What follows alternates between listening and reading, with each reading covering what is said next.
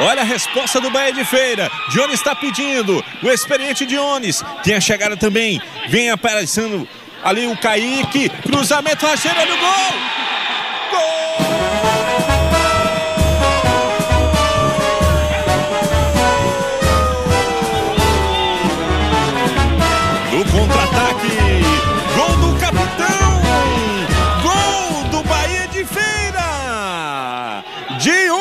Camisa 8. Num contra-ataque que pegou a defesa do Unirbe no contrapé.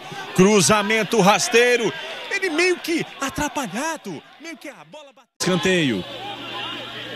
Desejar um abraço especial a todos os nossos colegas radialistas que fazem as transmissões com as imagens da TV. É sempre muito bom. Olha o Bahia de Feira chegando para fazer o segundo.